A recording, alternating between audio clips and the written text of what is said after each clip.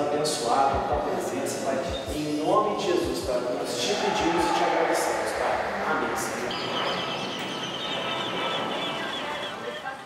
Então, o projeto ele nasceu em 2014.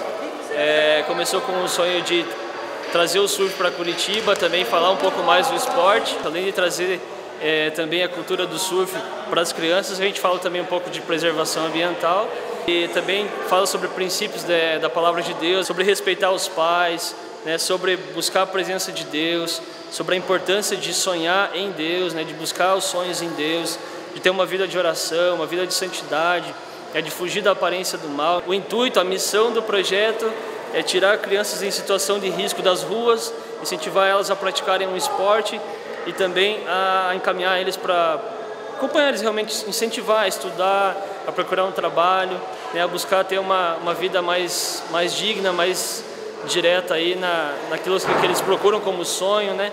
Fugir da criminalidade, fugir da, do envolvimento com o tráfico de drogas. Toda reunião que a gente faz aqui começa das 9 às 10 com uma atividade esportiva antes na piscina, mas por um motivo de, de força maior a gente não está fazendo as piscinas agora.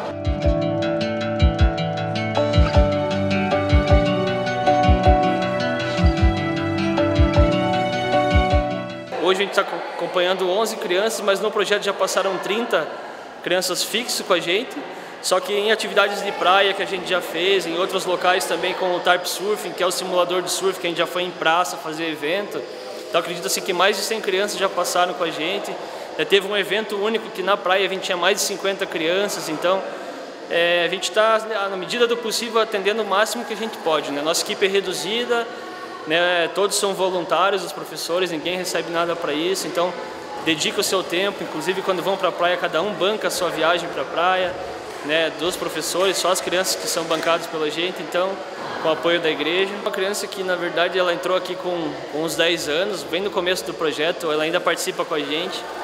E uma realidade bem difícil, né, como a maioria deles, mas assim, filho de, de alcoólatra, mãe muito doente, irmã deficiente, e era uma criança que tinha tudo assim para para partir para um caminho que não é legal, para partir para o mundo do crime.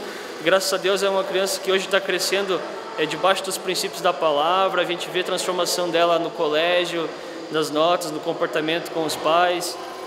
É, uma coisa interessante que, que esse menino ele, ele, ele, ele tinha um problema de medo de água, né? E ele se agarrava na piscina, tinha muito medo, tinha pavor de água e hoje é um menino que vai para a praia, já pega onda, já surfa, então também na questão esportiva desenvolveu, né? E além de outras histórias, a gente pode falar de várias, né? Mas esse menino a gente pode ver assim que às vezes um simples fato de a gente passar tempo com eles, né? A gente apresentar um esporte para eles, isso muda a vida deles, né? Para a gente é algo tão simples, né? Faz parte do meu cotidiano como surfista e toda semana para a praia. Mas para eles é uma coisa mais rara e uma coisa assim tão simples tem feito a diferença na vida deles, tem feito eles se afastarem das drogas, feito eles se afastarem da criminalidade e procurar um caminho mais correto perante Deus e a sociedade.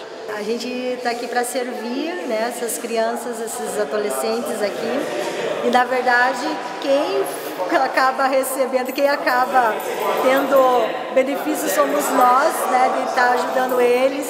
Eu mesma, para ter uma ideia, quando eu comecei no projeto, eu não sabia nadar, não sabia surfar, né?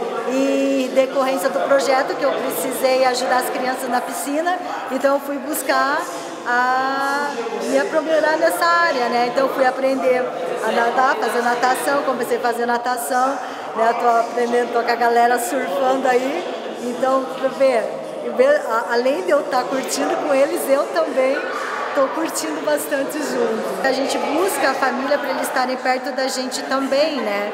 para também até para ter um feedback de como que como que é as crianças, como está indo, se está indo sendo legal o retorno em casa, né? Porque como a gente não está dia a dia com eles, então esses eh, eh, esses encontros, esses eventos é legal para isso, sabe?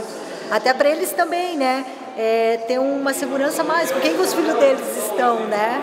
Onde, quem são as pessoas que estão cuidando dos filhos deles, tempo precioso que eles dão aqui para os filhos deles estar com a gente. A criança para participar do projeto, então a idade é de 10 a 14 anos, ela pode entrar com 13 ou 12 anos, mas a gente prefere as crianças desde os 10 anos já para ela ter um ciclo com a gente, né?